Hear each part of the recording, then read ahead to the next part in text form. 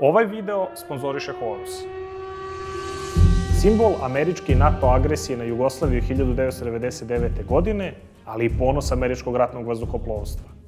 Njegovo obaranje je postalo, barem za nas, simbol otpora i borbe Davida protiv Golijata. Međutim, F-117 je i mnogo više od toga. Avion koji je imao najveći uticaj na budućnost borbenih aviona i potpuno promenio koncept ratovanja u vazduhu.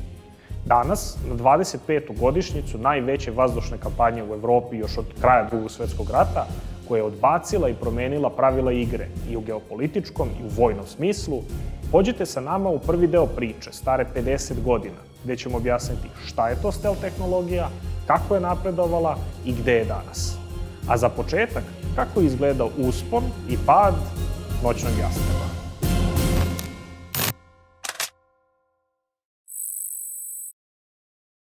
Priča počinje pre tačno 51 godinu, na Bliskom istoku. Tokom Jom Kippur rata 1973. Izrael je teritorijalno ostvario velike pobede, a izraelski piloti su se pokazali kao izuzetan protivnik i desetkovali avijaciju Egipta.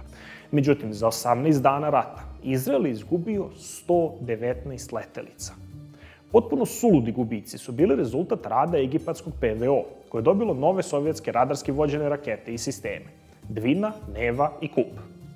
Američki analitičari su tada procenili da sa takvim gubicima celokupan NATO u Evropi bi mogao da izdrži oko dve nedelje protiv celog Sovjetskog saveza. Drugi problem za Amerikance je bio njihov lični poraz u Vijetnamu i hiljade i hiljade izgubljenih aviona i helikoptera, opet prvenstveno od strane PVO Severnog Vijetnama. U-2 je odavno bio oboren i SR-71 je prosto bilo pitanje vremena kada će Sovjeti moći da presretnu zbog razvoja MiG-25 I sve vodilo potpunoj pat poziciji na terenu, da jednostavno neće biti mogućnosti prvog udara i brzog eliminisanja protivnika na sobstvenoj teritoriji. Vijetnam je do duše stvorio još jednu bitnu novinu kod Amerikanaca. Koncept SEAD aviona, čiji je cilj bio isključivo lov na protivnički PVO. Wild Weasel je bilo šifrovano ime za avione koji su suštinski leteli kao mamci ili pratnja bombarderima, samo sa ciljem da gađaju protivničke radare i PVO sisteme. Međutim, i oni sami su bili meta i u dovoljno pokrivenom vazdušnom prostoru samo bi ginuli kao topovsko meso pokušavajući da otvore put za druge. Ali, šta ako bi jednostavno nestali sa radara? Piotr Ufimcev je bio dete iz siromašne porodice. Odrastao sa ozbiljnim oftalmološkim problemom, ali i željom da uspe i promeni svoj život. Završio fakultet u Odesi i postao fizičar 50. godina, a počeo da radi po diplomiranju u institutu u istom gradu. Međutim, u Finцem je radio paralelno i na svojim teorijama. Prvenstveno je hteo da napravi matematički model koji objašnjava kako se elektromagnetni talasi odbijaju od dvodimenzionalnih i trodimenzionalnih oblika. Prvi je na svetu uspeo u tome i rešio ovaj problem. Postavio matematičke modele i jednačine koje objedinio u fizičku teoriju difrakcije, a 1962. je objavio i svoju knjigu u SSSR-u. Niko u Sovjetskom savezu nije video šta zapravo imaju pred sobom i kako će rad u Filmceva promeniti svet. Čisto za poređenje, tada je MiG-21 tek ušao u službu, Gagarin je poletao u kosmos godinu dana ranije i faktori brzine i visine su još uvek bili glavne ideje vodilje u dizajnu aviona. Njegov rad je preveden na engleski i objavljen u svetskim akademskim krugovima, jer se smatralo da nema nikakvu ekonomsku i vojnu primenu. Ali samo deseta godina kasnije sve će se promeniti. 70-ih. Lockheedov Skunk Works, koji je bio zadužen za tajni projekte i usko sređivao sa CIA-om, počinje da ispituje koncept aviona sa smanjenim radarskim odrazom. Već na SR-71 inženjeri su počeli da razmišljaju u ovom pravcu, ali bilo je moguće samo blago umanjenje radarskog odraza. Ništa dovoljno značajno da avion potpuno nestane sa radara. Denis Overholzer je tada bio mladi inženjer u Lockheedu, koji između ostalog znao i ruski, i prevodio je radove ruskih fizičara i matematičara da bi video da li u njima mogu naći nešto korisno za budući razvoj svoje tehnike. Kada je naletao na radu Fimceva, a imajući u vidu da je bio tehničko lice, počeo je malo više da se interesuje i onda je shvatio šta ima u svojim rukama. U prvi mah nadređeni su ga ignorisali, ali bio uporan i došao je do inženjera Skunk Worksa koji su shvatili da Overholzer ima ključ za potpuno nov pristup dizajnu aviona. Na bazi rada u Fimceva počela su ispitivanja oblika koji će imati minimalizovani radarski odraz, odnosno maksimalno povećati refleksiju radarskih zraka u svim pravcima, osim kao odašiljaču. Međutim, kompjuteri tog doba nisu mogli da naprave i ukalkulišu ovalne oblike, pa su zato pristupili fasetiranju, odnosno brušenju oblika u ravni, slično kao što su nekada igrice imale one smešne karaktere sa prevalo poligona. Tako je nastao beznadežni dijamant, oblik koji je bio skoro pa nevidljiv za radare, ali isto tako nemoguć za upravljanje ili let. Ali 70-ih je došlo do još jedne velike inovacije, fly-by-wire, odnosno digitalnog sistema upravljanja. I beznadežni dijamant je upravo dobio nadu. 1977. u misterioznoj oblasti 51 poleće Have Blue, tehnološki demonstrator nove stealth tehnologije koji se komotno mogao prepisati vanzemaljcima ili nekom NLO. Prvi prototip je korišćen da bi se usavršio sistem kontrole i upravljanja, a drugi za testiranje radarskog odraza. Iako su oba prototipa izgubljena u udesima, rezultati su bili zapanjujući i odobreni nastavak programa. Letelica je drastično povećana, aerodinamički usavršena i 1981. poleće noćni jastreb. F-117 je razvijen i čak korišćen u potpunoj tajnosti. Čak je dobio oznaku F, odnosno fighter, iako je zapravo isključivo taktički bombarder i nije uopšte mogao da vodi borbu u vazduhu. Dizajn je potpuno okrenut smanjenju radarskog odraza, a ne aerodinamici. Uvodnici vazduha su skriveni i prebačeni na gornju stranu zmaja aviona. Mlaznice promenjene u pljosnati oblik i izrađene tako da smanjuju toplotni trag same letelice. F-117 nema radar, a čak ni detektor radarskog ozračenja, već samo dva IC senzora i laser koji pomažu pri označavanju ciljeva i vođenju bombi. Motori su isti oni sa F-18, ali bez forsažne komore, jer je brzina ograničena na podzvučnu, da bi se smanjio i akustički odraz aviona i da ne dolazi do probijanja zvučnog zida. F-117 imao odnos potiska i snage od 0,4, nešto više od Airbus A320, tako da nije bio avion koji može da manevriše naglo, jer bi vrlo lako došlo do sloma uzgona. Ali radarski odraz je bio nešto do sad potpuno neviđeno. Na ispitivanjima se došlo do minimalnog odraza od 0,001 metar kvadratni, a kao poređenje B-52 je tada imao odraz od 100 metara kvadratnih. Godinama je ovo izuzetno skup i tajnoviti avion bio ipak samo gomila testova i teorijskih zaključaka i možda nekog snimljenog NLO, ali onda je napokon došla 1991. i šansa da se pokaže u borbi. U noći 17. januara 1991. 17 F-117 je poletelo na veoma opasnu misiju. Cilj je bio da se gađa Bagdad, najgušće pokrivena tačka PVO sistemima u celom Iraku. F-117 su bile zadužene da gađaju PVO položaje, radare i komandu PVO u centru samog grada. Pored njih, istu tu noć, odvojene napade su izvršavale F-18 sa HARM raketama, kao i masivni napad Tomahawk krstarećim raketama. Ali izuzetno bitna akcija, gde su Apačima uništena dva izviđačka radara i otvoren koridor od 40 km za sledeće akcije. Međutim, F-117 su bili jedini koji su leteli van tog koridora tu noć. Kada su počeli da padaju bombe po Bagdadu, Iračani su nas lepo gađali svega što su imali, ali niti su znali odakle je došao protivnik, niti koji gađa, niti šta ih gađa. F-117 je nastavio da leti tokom pustinske oluje i ukupno imao 1300 misija na kojima ni jedan avion nije izgubljen.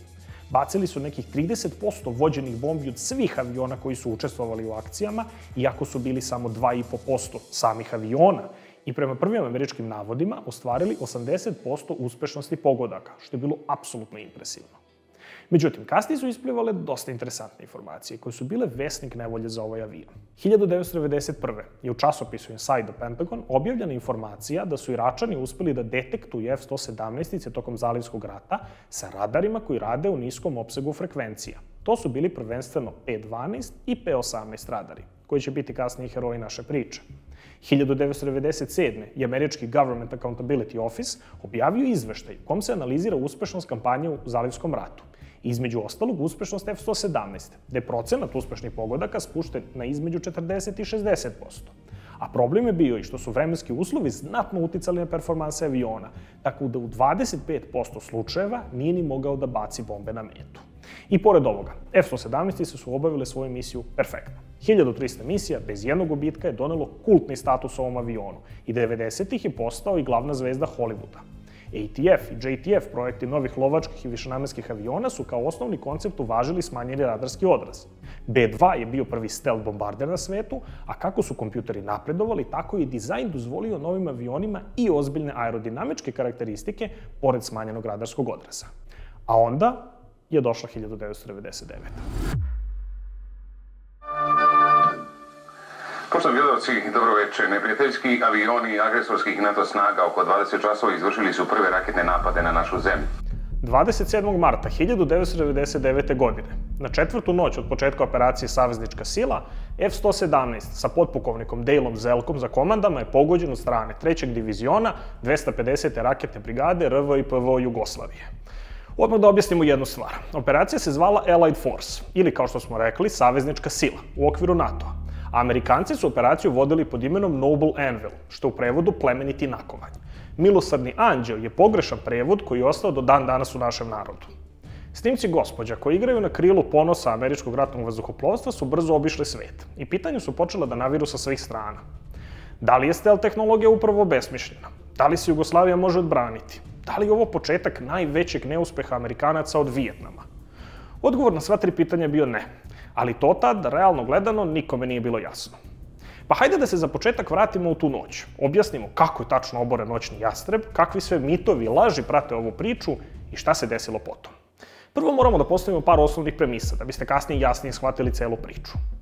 Sistem je sačinjen od tri suštinski najbitnije elementa osmatračkog radara koji treba da detektuje protivnika na većim daljinima i da azimut, odnosno pravac mete u odnosu na lanser, SNR 125 nišanskog radara koji ima za cilj da gađa, odnosno precizno navodi rakete na metu i naravno same lansirne rampe sa raketama, a ukupno su mogle četiri da se vežu na komadnu stanicu. U slučaju naših sistema, izviđački radar je bio P-18. P-18 se takođe zove i metarski radar, odnosno radi na nižim frekvencijama VHF opsega. Ne može da odredi visinu aviona, već samo daljinu i azimut, pa shodno tome i brzinu kretanja. SNR-125 je nišanski radar koji funkcioniše u X opsegu, takozvani centimetarski radar, i služi za navođenje rakete na metu. Sastavljen je u tri antene i detektuje i prati visinu, daljinu i azimut samog cilja. EA-6 Prowler je američki mornarički avion za ometanje i SEAD misije, to jest onesposobljavanje i ometanje protivničkog PVO. Nosi ALQ-99 ometače, kao i AGM-88 HARM protivradarske rakete. EA-6 može da ometa u svim frekvencijama, od VHF do X ili Q, ali o tome više kasnije. O samom F-117 smo već rekli neke bitne detalje u prvom delu videa. Treći divizion je bio raspoređen na svoj borbeni položaj u okolini Šimanovaca, a njihova skladišta su gađana još u prvoj noći. Prve tri noći su bili u potpunoj radio tišini i nisu koristili radare, ali te četvrte noći su imali svoje vatreno krštenje. P-18 je radio na dnu VHF opsega, jer je tako bio potpuno nevidljiv za američke avione koji su leteli u SEAD misijama, a je takođe i za HAM rakete, koji uopšte ne mogu da gađaju ovaj tip radara, već isključivo nišanske radare koji rade u višim frekvencijama. Takođe i mobilna radarska stanica, pa bi se konstantnim premeštanjem šansa za otkrivanje vizualno od strane satelita ili dronova svela na apsolutni minimum. Zbog toga je upravo taj radar bio ključan faktor koji je uopšte omogućio našim raketašima da imaju oči na nebu svih 78 dana. Upravo na tom izviđačkom radaru posada te noći dobio informaciju o grupaci i protivničkih aviona na 23 km daljine. Nije bilo prethodnog obaveštenja od komande da imaju avione koji ulaze u njihov vazdušni prostor, niti prethodne detekcije nekog drugog diviziona, kojih je ukupno bilo sedam raspoređeno oko Beograda. Oni su prvi tu noć videli F-117, a jedina informacija koja je postojala jeste da su neki avioni na nebu i da se očekuje napad na ciljeve u Beogradu koje je dobijena od strane radioamatera. Ovde dolazimo do prvog mita američkih medija. F-117 je oboren samo zato što je detektovan kada je otvorio vrata za izbacivanje bombi. Prema izjavi Dejla Zelka, pilota oborenog aviona, on je svoju misiju uspešno završio negde sa južne strane Beograda, pogodivši sa dve GBU-10 bombe metu, Nakon toga, prema planu, hvato je kurs ka Hrvatskoj i Mađarskoj, odnosno tankeru koji je čekao na dopunu goriva. Konkretno mete bila Straževica, od koje vazdušnom linijom do Šimanovaca, u čijoj se blizini nalazio položaj, ima 30 km, odnosno van najdalje tačke na koje je detektovan F-117. Druga činjenica je da su bombe bačene istočno od Beograda, pošto su u pitanju laserski vođene GBU-10 i ceo mit u detekciji isključivo zbog toga smo vrlo lako rešili. Drugi mit jeste da su avioni leteli istim predvidivim rutama i da je zato F-117 oboren. Prvo, pozicija trećeg diviziona je bila u istom krugu tokom čitavog rata, izvučena prema zapadu, dok je oko Beograda postojala mreža ostalih diviziona koji su pokrivali celu teritoriju, odnosno vazdušni prostor oko prestonice. Ovo možemo i slikovito videti na predavanju Zoltana Dani od pre par godina, ali takođe primetiti da jedina lokacija gde se skoro pa ne preklapaju PVO zone jeste iz pravca Rumunije, koji je bio ulaz na putanje F-117 te noći. namenski izvučen prema Hrvatskoj da bi se napravile zasede za američke avione tamo gde ne očekuju protivnika, jer je sam obruč oko Beograda potpuno očekivana stvar, kao što je postao i obruč oko Bagdada i drugih gradova u Iraku, sa kojim su se Amerikanci 91. relativno brzo izborili. Ako vam i to nije dovoljan dokaz, ajde da se okrenemo američkoj strani. Mike Pietruka je 1999. bio WSO, odnosno Weapon System Officer na F-15T i letao je misije prvenstveno iza Crne Gore, Kosova i Juga Srbije. U svom veoma zanimljivom intervjuu je naglasio kako je najveći problem do poslednjeg dana rata bila PVO Jugoslavije. Avioni koji su leteli nekom rutom jedan dan bi već sledeći bili gađani raketom, a nekad čak i u toku istog dana. Sigurna ruta bi bila nesigurna tokom akcije koja bi krenula čak kasnije istog dana. Tako da tu je srušen i drugi mit, da su navodno postojale rute koje su naši raketaši poznavali. Predviđanje je svakako bilo, ali manje više sa svih strane dolazila neka pretnja iza samog Beograda, a osnovna taktika je bila da se napravi zaseda gde neprijatelj ne očekuje pretnju. Dakle, prvo na 23 km detektovana je grupa aviona, od kojih jedan ulazi u zonu dejstva od 20 km na azimutu 150. Zoltan Dani, rukovodilac gađanja te noći, je znao da je velika šansa da izgube metu na toj udaljenosti ako odmah ispale rakete i samo je pratio preko P-18 poziciju. Ali avion je ušao dublje u zonu dejstva i na 16 km azimut 190 naredio traženje mete nišanskim radarom. Zahvat cilja nije bio uspešan. Na azimutu 210 i daljini od 14 km ponovo se zrače nišanskim radarom, ali bez uspešnog zahvata. Pravilo je bilo da se radar ne uključuje više od dva puta, jer je postojala opasnost da ih detektuju avioni koji lete SEAD misije u pratnji i odmah gađaju Harmon. Zoltan Dani naređuje i treći put da se uključi radar. Na azimutu 235 i operatori praćenja, Dragan Matić i Dejan Tijosavljević, uspevaju da prate uspešno metu i po naredbi lansiraju se prva i 5 sekundi kasnije automatski druga raketa. Procenat uspešnosti jedne rakete je bio oko 70%, dok se sa dve rakete podizao na 95%. I zato je bila praksa da se lansiraju dve rakete jedna za drugom, da bi se osiguralo obaranje protivničkog aviona. Zelko do tog momenta nije imao pojma da je ozračen, niti da će ga gađati. Ako se sećate, rekli smo da F-117 uopšte nema detektor radarskog ozračenja. On je vizuelno vidio na svoja 4 sata dva lansiranja sa zemlje koje su osvetlila mračno nebo. Prema njegovim rečima, znao je da će biti pogođen i da nema šanse. Probao je naglim uspinjanjem da dobije što veću visinu, da bi imao šansu da se spusti po iskakanju daleko od mesta pada aviona i makar bude spašen. Setite se i onoga što smo pričali, vezano za odnos potiska i snage F-117 i činjenice da je bio izuzetno trom avion koji nije mogao da radi nagle manevre. S druge strane, prva raketa je uspešno krenula put mete, dok je vođenje na drugi otkazalo i počela je da leti bez vođenja u trajektoriji kosog hica. I pored toga, operateri na zemlji su mirno ispratili poslednji manevar Zelka i pogodili avion. Vega 31 je oboren.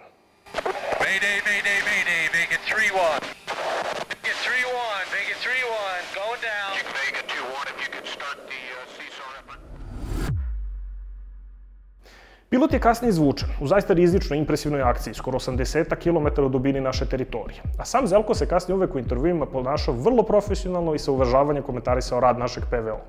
Još jedan od popularnih mitova je kako je to jedino veče kada F-117 nije imao pratnju Prowlera i da je oboren samo zato što nije bilo ometanja. Činjenica jeste da oni to veče nisu leteli. Prvo zbog vremenskih uslova, a drugo zato što se smatralo da stealth avionima ne treba takva podrška imajući u vidu iskustva iz Iraka. Međutim, Vega 31 nije jedini F-117 koji je pogođen 1999. Tako da i ovaj mit pada u vodu, a vrlo uskoro ćemo ispričati i zašto. Treći raketni divizion i sledeće borbeno dejstvo imao tek 29. aprila, ali neuspešno, jer je Meta u poslednjoj fazi leta rakete uspela oštrim manevrom i izbacivanjem mamaca da izbegne raketu Neve. Druga raketa ponovo nije bila upotrebljiva jer je zbog mokrog zemljišta došlo do pomeranja lansirne rampe pa nije bila ni ispaljena. Isti dan su se prebacili na novi položaj, pošto je ta pozicija sada bila kompromitovana i moglo se očekivati gađanje od strane NATO-a. Pa su zauzeli položaj kod sela Petrovčić 30. aprila i tu noć imali priliku za novu akciju. Tada major, Boško Dotlić, još jedna od legendi trećeg diviziona, po čijom komandom će samo par dana kasnije biti oboren i F-16 CG, je bio rukovalac gađanja te večeri. A to mu je usput bilo i prvi put da komanduje smenom. U 2.46 posle ponoći uočen je cilj na azimutu 60 i 17 km daljine. Cilj je brzo zahvaćen i lansirane su po običaju dve rakete. Ponovo, druga raketa nije uspela da zaključa metu i odletela je pravcem kosog hica, ali je prva uspešno pogodila cilj na azimutu 53 i daljini od 12 km. Odmah je naređeno isključenje antene, tako da nisu ni ispratili šta se dalje desilo, računajući da će uskoro dobiti informacije o oborenom avionu. Međutim, vrlo brzo su čuli drugu jaku eksploziju nedaleko od njih. HM raketa je pala na obodu sela Petrovčić, nedaleko od njihove pozicije. Njihova uigranost i kratko zračenje radarom su ih spasili skoro sigurne smrti. Još jedan bitan faktor je bila upotreba imitatora radarskog ozračenja, koji su se postavljali dalje od položaja i zračili u isto vreme i u istom pravcu kao nišanski radar. A ostavljeni su par sekundi duže da zrače po gašenju same antene, tako bi avion lansirao protivradarsku raketu na metu, a ona bi pogodila imitator, jer je zračio u istom pravcu kao i pravi radar. Međutim, da se vratimo na našu priču. Tek posle 21 godine, odnosno 2020. smo dobili informacije iz američkih izvora šta se desilo te noći na nebu iznad Srbije. Posle obaranja prvog aviona, mnogo zbiljnije shvaćena pretnja PVO oko Beograda. I Amerikanci su počeli redovno da lete opširne SEAD misije u kojima su provocirali reakciju našeg PVO da bi ih drugi avioni uništili. Takođe, F-117 su letele u pratnji F-16CJ Wild Weasela, opremljenih sa AN ISQ-13 nišanskim sistemom i HARM raketama. U noći 30. aprila, Charlie Heinlein, veteran pustinske oluje i pilot F-117 je letao iz baze Spangdalem u Nemačkoj na misiju sa još jednim avionom, gađajući metu u Beogradu. U pratnje su letele F-16 koje smo pomenuli, a i Prowleri su bili na nebu da ometaju radare. Po obavljenoj misiji krenuli su na kurs put Mađarske i leteli zapadno od Beograda, kada je dobio obaveštenje od pratnje da je detektovano zračenje i odmah potom video je prvo jednu, pa drugu vatrenu loptu koja poleću sa zemlje. Jasno je video kako prva raketa eksplodira u vazduhu blizu njegovog wingmana i kako je druga samo proletela.